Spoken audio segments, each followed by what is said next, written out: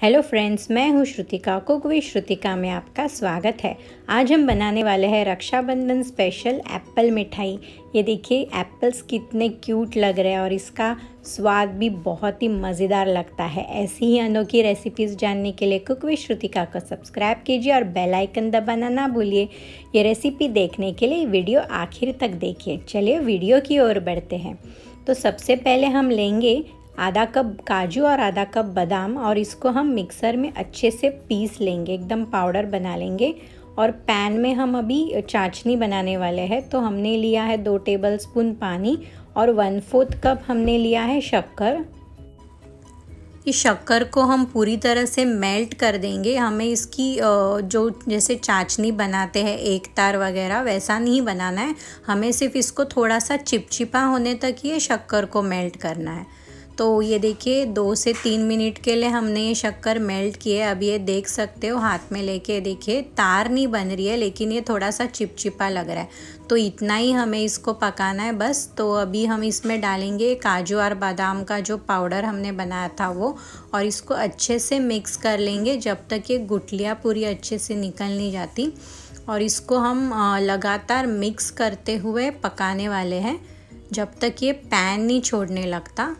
तो ये देखिए, और इसमें हम डालेंगे थोड़ा सा घी, दो टेबल स्पून के करीब, और इसको अभी हमें लगातार ऐसे चलाते हुए मिक्स करते जाना है।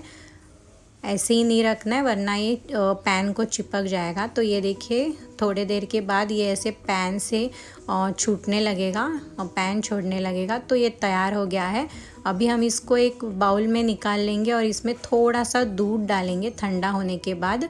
ताकि ये अच्छे से एक साथ आ जाए। तो ये देखिए अभी ये एक साथ आ रहा है और अभी हम इसके, ऐसे गोले बना लेंगे साधारण इस साइज़ के और थोड़ा लड्डू जैसे इसके गोले बना लेंगे हम, इसको अच्छे से एकदम स्मूथ कर लेंगे और इसके ऊपर हम लगा देंगे ये लौंग।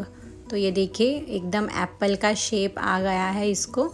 तो ऐसे ही हम सारे ऐसे छोटे छोटे एप्पल्स बनाकर रेडी कर लेंगे।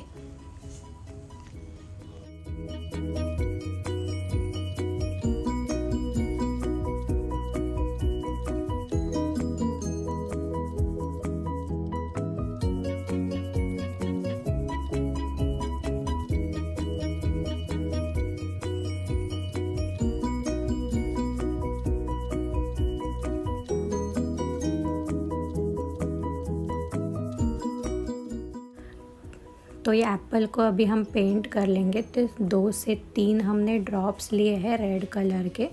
और ये फ़ूड कलर है, रेड फ़ूड कलर। आप पाउडर कलर भी ले सकते हो। तो ऐसे पेंट ब्रश लेंगे और इसको थोड़ा सा डुबो के हम इसको पूरी, पूरा रेड कलर से पेंट कर देंगे। सिर्फ़ ध्यान में ये रखना है कि ऊपर की तरफ़ से हमें इसको पेंट नहीं करना है, ताकि एकदम रियल एप्पल की तरह लगे। तो इसको सारी तरफ़ से देखिए, इस तरह से हम ऐसे पूरा रेड कलर से कलर कर लेंगे। नीचे से भी हमें इसको पेंट कर लेना है। तो ये देखिए, अभी मैं इसको थोड़ा नीचे रख के पूरी पेंट कर रही हूँ। इसी तरह से हम सारे एप्पल्स ऐसे ऐसे पेंट कर लेंगे। देखिए कितना मस्त लग रहा है, एकदम रियल एप्पल लग रहा है।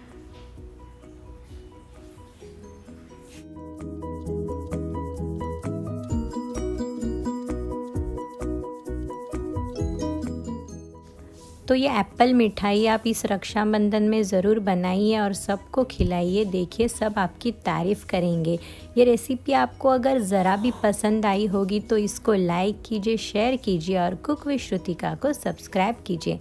मिलते हैं ऐसी और एक नई रेसिपी के साथ, तब तक के लिए बाय बाय